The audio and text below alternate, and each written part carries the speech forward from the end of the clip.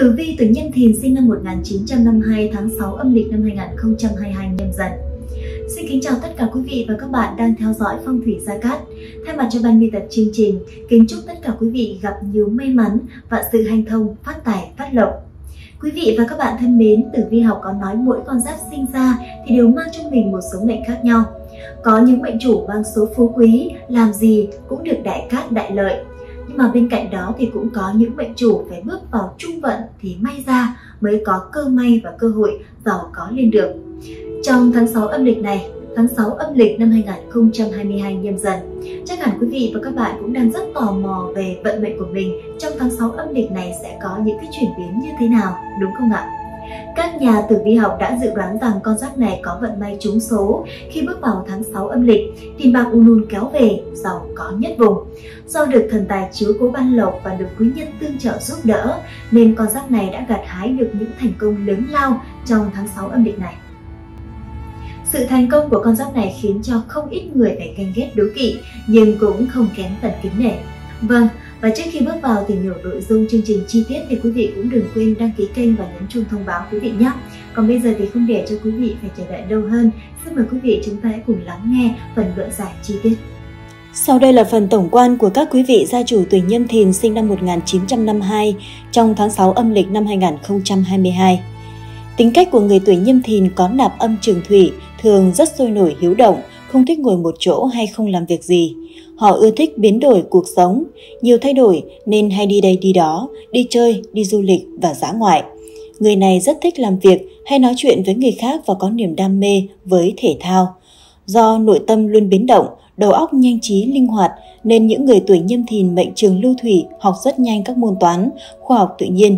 Thói quen suy nghĩ tư duy của họ giống như là một chất gây nghiện, tựa như chính những dòng chảy dài đến vô tận. Người tuổi nhâm thìn mệnh trường lưu thủy có tính cách siêng năng, miệt mài của một dòng sông trở nặng phù sa, bồi đắp cho cuộc đời đầy hoa thơm và trái ngọt. Cảm xúc của người này cũng rất linh hoạt, đa dạng, có nhiều cung bậc khác nhau. Trong tháng này, bạn có nguồn thu nhập chính ổn định, song các khoản thu phụ không quá dồi dào. Vì thế cần hạn chế đầu tư, chủ yếu tập trung vào các công việc chính của mình. Trên phương diện sức khỏe, nếu có thời gian, bạn nên sắp xếp đi kiểm tra sức khỏe toàn diện, đề phòng và chữa trị bệnh kịp thời, đồng thời có chế độ sinh hoạt rèn luyện hợp lý. Xét về thiên can, nhâm dương thủy gặp đinh âm hỏa nên gọi là chính quan, nghĩa là thân bị khắc. Trong tháng này, những gia chủ cần phải chú ý lời ăn tiếng nói, cẩn thận những thị phi từ miệng mà ra. Thứ nhất, về sự nghiệp quan vận.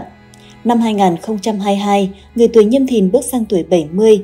Ở độ tuổi có thể an nhàn hưởng lương hưu vẫn có người nặng tâm với sự nghiệp nên vẫn đang hăng say làm việc. May mắn là trong tháng gia chủ không chịu quá nhiều áp lực, thậm chí nếu có thì cũng sẽ chủ động tìm được cơ hội để giải tỏa. Công việc có bước tiến triển ổn định, tạo nguồn động lực và sự yên tâm rất lớn cho con giáp này.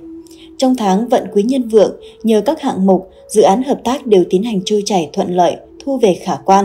Tuy nhiên, nên tránh các việc dính dáng tới pháp luật, tranh chấp, kiện tụng, kẻo sẽ nhận phần thua thiệt về mình. Năm nhâm dần 2022, Thái Tuế là hạ ngạc đại tướng quân. Dưới chân của đại tướng quân có một con hổ. Để cho vận trình sức khỏe và gia đạo được hanh thông thuận lợi, thầy Gia Cát khuyên quý vị gia chủ hãy luôn mang theo bên mình một kim bài Thái Tuế để nghênh đón Thái Tuế, mang lại may mắn, bình an.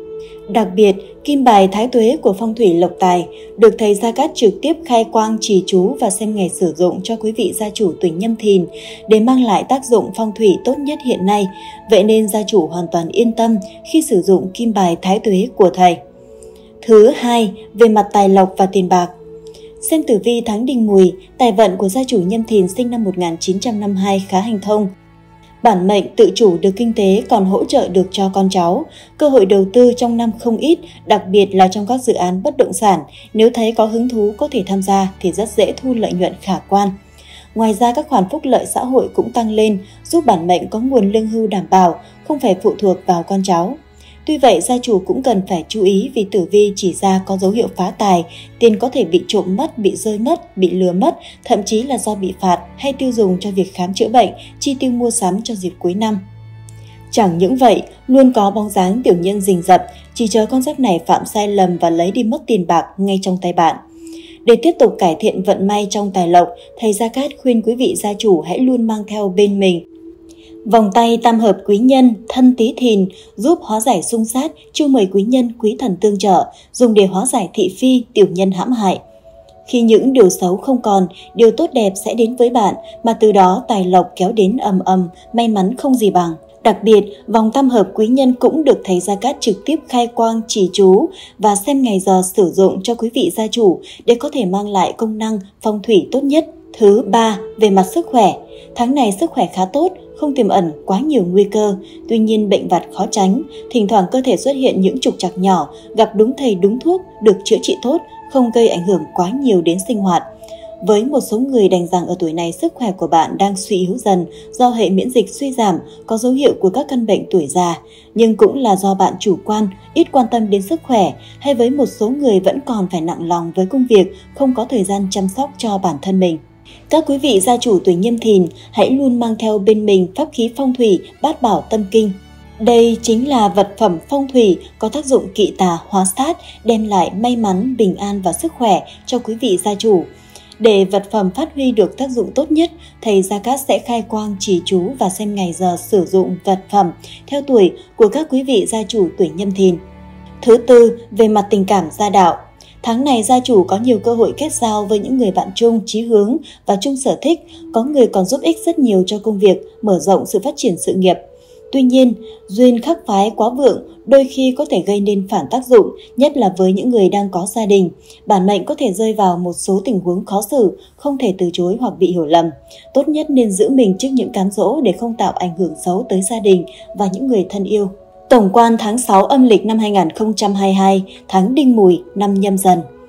Tháng 6 âm lịch được bắt đầu từ ngày âm lịch từ 1 tháng 6 năm 2022 và kết thúc vào ngày 30 tháng 6 năm 2022, tức ngày 29 tháng 6 năm 2022 đến 28 tháng 7 năm 2022 dương lịch. Tháng 6 đinh mùi có nạp âm là thiên hà thủy, tháng mùi lục hợp ngọ, tam hợp mão và hợi thành mộc cục, xung sửu, hình sửu, hại tý, phá tuất và tuyệt sửu. Đối với những người tuổi nhâm thìn, trong tháng 6 âm lịch này sẽ cần phải tránh các ngày. Ngày âm lịch ngày 10 tháng 6 năm 2022, tức ngày 8 tháng 7 năm 2022 dương lịch có nạp giáp là nhâm tuất, có nạp âm là đại hải thủy. Ngày âm lịch ngày 22 tháng 6 năm 2022, tức ngày 20 tháng 7 năm 2022 dương lịch có nạp giáp là giáp tuất, có nạp âm là sơn đầu hỏa. Đây chính là hai ngày không được cát lành khi tính theo tuổi của các mệnh chủ tuổi nhâm thìn. Trong những ngày này, mệnh chủ cần phải hết sức chú ý và tốt nhất là không nên thực hiện những công việc quan trọng. Lời khuyên từ các chuyên gia phong thủy cho bản mệnh là nên chú ý tới sức khỏe nhiều hơn, chi tiêu tiền của vào những việc cần thiết, không nên vung tay quá chán. Các ngày tốt đối với những người tuổi nhâm thìn trong tháng 6 âm lịch năm nhâm dần 2022 ngày âm lịch ngày 9 tháng 6 năm 2022, tức ngày 7 tháng 7 năm 2022 dương lịch có nạp giáp là Tân Dậu, có nạp âm là Thạch Lựu Mộc. Ngày âm lịch ngày 21 tháng 6 năm 2022, tức ngày 19 tháng 7 năm 2022 dương lịch có nạp giáp là Quý Dậu, có nạp âm là Kiếm Phong Kim. Đây chính là hai ngày cắt lành trong tháng để các gia chủ tiến hành các công việc liên quan đến xuất hành hay những công việc quan trọng sẽ dễ có kết quả cao hoặc những vấn đề nhỏ trong gia đình bạn tiến hành đều hết sức thuận lợi. Ngoài ra việc lựa chọn ngày tốt cần phù hợp với tuổi của gia chủ trong những công việc như tiến hành động thổ, ngày giờ mua xe mới, ngày giờ cưới hỏi. Để chọn được ngày giờ đẹp phù long tương chủ, ngày giờ tài lộc của gia chủ, anh chị và các bạn hãy để lại thông tin dưới phần bình luận theo mẫu họ tên cộng ngày tháng năm sinh cộng số điện thoại hoặc anh chị có thể liên hệ trực tiếp đến số hotline hiển thị trên màn hình để được tư vấn hoàn toàn miễn phí.